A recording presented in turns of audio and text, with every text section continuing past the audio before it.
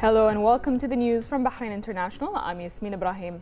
The Deputy Prime Minister, His Highness Sheikh Mohammed bin Mubarak Al Khalifa, chaired the weekly cabinet meeting at Gudaibiya Palace.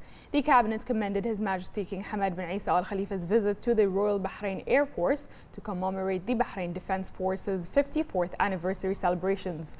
In this regard, the cabinet noted His Majesty's commitment to supporting the BDF's ongoing development by providing its units with the latest technology and equipment. The cabinet stressed the importance of consolidating responsibility and accountability to protect public funds. In this regard, the cabinet directed all agencies to cooperate with the National Audit Office. The cabinet discussed and approved several memorandums during the meeting.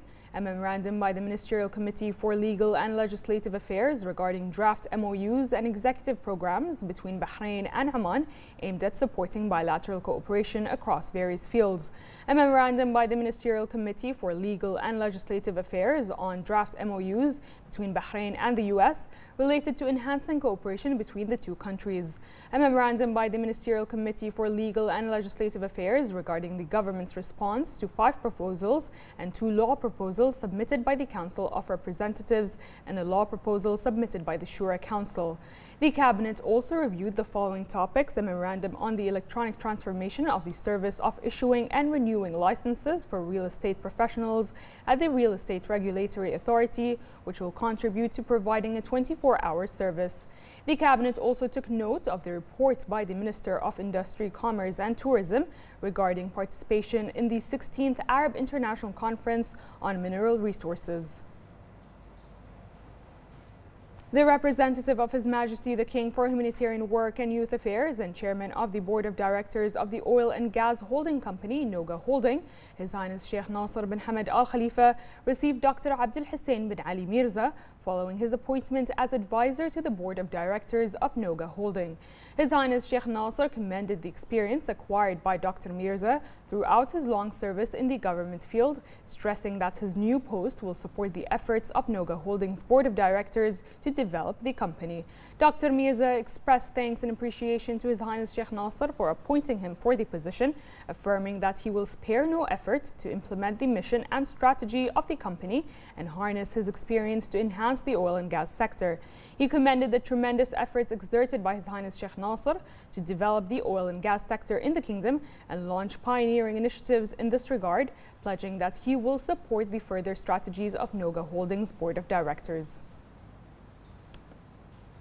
The Bahrain Defense Force Commander-in-Chief Field Marshal Sheikh Khalifa bin Ahmed Al Khalifa presented the Order of Bahrain of the first and second class conferred by His Majesty King Hamad bin Isa Al Khalifa on a number of senior BDF officers on the occasion of the 54th anniversary of its establishment in the presence of BDF Chief of Staff Lieutenant General Thaib bin Sagar Al Naimi.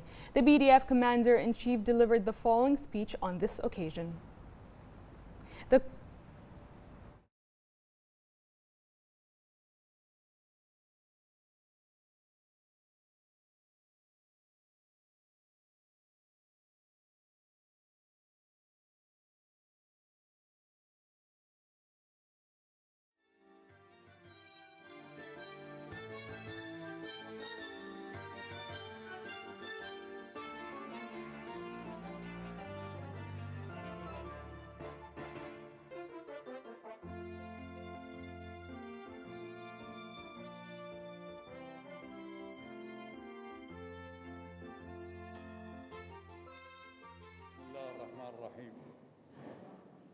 يسعدني أن أنقل لكم تحيات سيدي صاحب الجلالة وتهانيه.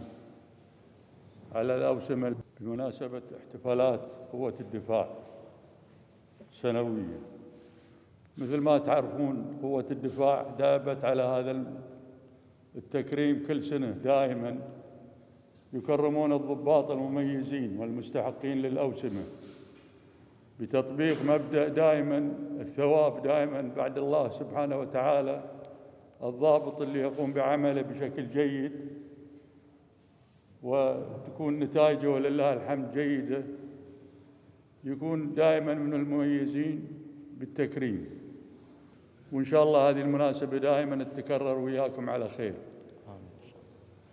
الله سبحانه وتعالى من علينا الحمد لله بهذا الاستقرار وبأعمالكم الطيبة.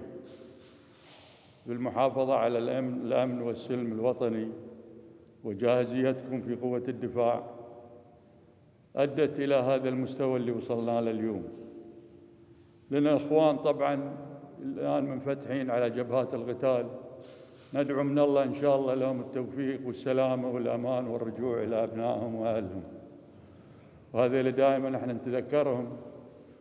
وأيضا بعد نقرأ اليوم الفاتحة على شهدائنا الأبرار الله يرحمهم بهذه المناسبة.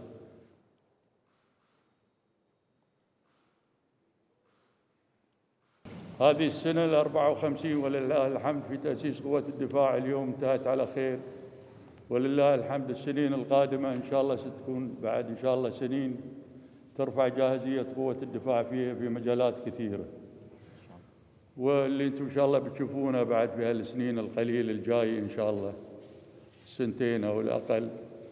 في نقلات نوعية إن شاء الله بتصير وبعضها صار الآن كتوقيع ترفع إن شاء الله من مستوانا. نتمنى لكم إن شاء الله التوفيق ونراكم دائما وأنتم بخير وإن شاء الله وطيبين. نقلوا تحياتي للضباط والأفراد اللي وياكم تقديري لعملهم اللي يقومون فيه كل يوم ان شاء الله دائما نلتقي وياكم على الخير والبركه ان شاء الله The commander-in-chief praised the efforts of the BDF members, noting their sacrifices to maintain the safety and stability of the country and their dedication to protect its gains and capabilities.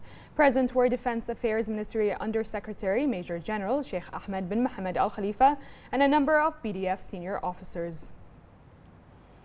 The Representatives Council Speaker received, Speaker received in her office Director for Member Parliaments and External Relations at the Inter-Parliamentary Union, IPU, Anda Filip Zainal stressed the Kingdom's status as a major host of regional and international events, which reflects the comprehensive growth, witnessed by Bahrain during the prosperous era of His Majesty King Hamad bin Isa Al Khalifa. She commended the cooperation between the legislative and executive branches, affirming the support of His Royal Highness Crown Prince and Prime Minister Prince Salman bin Hamad Al Khalifa. Both sides discussed means of promoting parliamentary relations between the Representatives Council and IPU. They also reviewed Bahrain's preparations to host the 146th session of IPU. Anda Filip praised Bahrain's progress in various fields, describing the kingdom as a model to emulate the religious tolerance, peaceful coexistence, women empowerment and protection of human rights. The Minister of Justice, Islamic Affairs and Endowments, Sheikh Khalid bin Ali Al Khalifa, praised Bahrain's achievements in the human rights field under the leadership of His Majesty King Hamad bin Isa Al Khalifa. He stressed the kingdom's strides in protecting human rights and guaranteeing the principle of accountability within the framework of promoting sovereignty of the law marking the 10th anniversary of the establishment of the Special Investigation Unit, SIU. He praised the unit's role as a national entity concerned with the protection of human rights. He added the unit also reflects development of the criminal justice system in Bahrain. Sheikh Khalid hailed the conference organized by SIU on the active role of the national institutions and mechanisms in protecting human rights. The conference is being held under the patronage of Attorney General Dr. Ali bin Fadl Al Bainain in cooperation cooperation with the United Nations Development Programme and the Institute of Judicial and Legal Studies. The minister underscored the importance of the conference, which sheds light on the national efforts to promote human rights, development of legislation, and its concordance with the international standards and agreements. The Minister of Labour and Social Development, Jamil bin Mohammed Ali Hmeidan, affirmed that the number of recipients who benefited from the insurance against unemployment topped 31,099 in 2021. He pointed out that the unemployment benefit has not been discontinued for any beneficiary who meets the eligibility conditions in accordance with the unemployment insurance law. He added that the amendments that were made to the unemployment insurance law, promulgated by Law Number 78, aim to keep pace with the economic requirements of Bahraini job seekers. Hmeidan also added that, that a new clause was added to the unemployment insurance law to disperse financial support to sectors affected by the pandemic, as controls were established stipulating entitlement to financial support to pay the wages of Bahraini workers in these facilities, which contributed to their protection and job stability in 12 sectors. Information Minister Ali Al Rumehi has mourned former director of Bahrain Radio, Abdurrahman Abdullah Al Ra'i, who passed away after a rich professional march in the media field. The minister paid homage to Al Ra'i, recalling his good qualities and services to the nation and praying to Allah Almighty to bless him with mercy, rest his soul in vast paradise, and provide his family with patience and fortitude. Al Ra'i joined Bahrain Radio in 1954 and contributed in collaboration with late Ibrahim Kanu to the launch of Bahrain Radio from the moment he assumed his duties. He took up many posts until a decision was issued on September 24, 1990, appointing him director of Bahrain Radio. An array of development projects was carried out then, which contributed to promoting Bahrain radio at the local Gulf and Arab levels, and he retired in 2001. He was known for his distinction and creativity in presenting topics and radio programs. He also showed a keen desire to use his knowledge and experience to build and train a Bahraini generation capable of conveying Bahrain's voice to the world. May his, roles, may his soul rest in peace. The Special Envoy for Climate Affairs and Vice President of the UN Environment Assembly, UNEA, Dr. Mohammed bin Mubarak bin Dana, participated in the virtual meeting of the UNEA under the slogan Strengthening Actions for Nature to Achieve Sustainable Development Goals. In his speech, bin Dana affirmed that the environmental file is considered one of the most important priorities for development and a cornerstone in the process of modern development led by His Majesty King Hamad bin Isa Al Khalifa, with its implementation supervised by His Royal Highness the Crown Prince and Prime Minister Prince Salman bin Hamad Al Khalifa, and followed closely by the personal representative of His Majesty the King and Chairman of the Supreme Council for the Environment, SCE, His Highness Sheikh Abdullah bin Hamad Al Khalifa. The special envoy noted that the SCE has worked intensively over the past years to develop environmental laws and legislative rules to be more effective and compreh comprehensive and in line with the Sustainable Development Goals and the economic vision of Bahrain. The Ministry of Foreign Affairs of the Kingdom of Bahrain is closely following the situation of Bahraini citizens present in Ukraine amid the current security conditions.